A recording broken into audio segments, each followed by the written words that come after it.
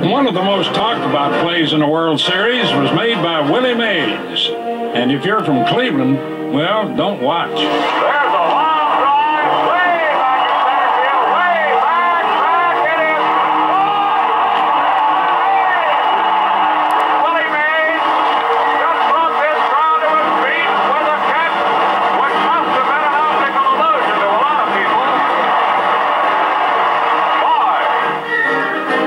Commissioner Fay Vincent earns an honorable mention from his very first World Series. The Giants' Will Clark caught the ball, but look who caught Clark.